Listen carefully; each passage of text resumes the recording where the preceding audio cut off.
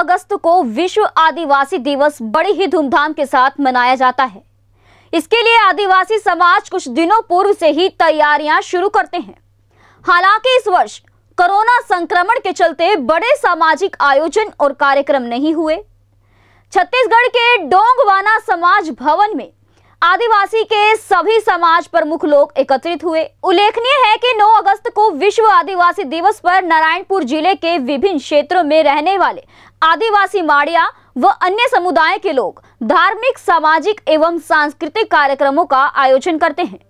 आदिवासी समाज के लोग इस दिन को आदिवासी परंपराओं और रीति रिवाजों के उत्सव के रूप में मनाते हुए अपने देवी देवताओं की पूजा अर्चना करते हैं तथा सामाजिक उत्सव के रूप में सामूहिक रूप से खुशियों का इजहार करते हैं। जानकारी के अनुसार संयुक्त राष्ट्र संघ ने 9 अगस्त उन्नीस सौ चौरानवे को आदिवासियों के हित में एक विशेष सम्मेलन आयोजित किया था। तब से इस तारीख को विश्व आदिवासी दिवस के रूप में मनाया जाने लगा है। इस कार्यक्रम में कई गणमान्य लोग भी मौजूद रहे। नारायणपुर से संवाददाता गेंदलाल मरकाम की रिपोर्ट। ऐसे ही लेटेस्ट खबरें पाने के लिए बेल आइकन को क्लिक कर हमारे चैनल को लाइक, शेयर एंड सब्सक्राइब करें। धन्यवाद।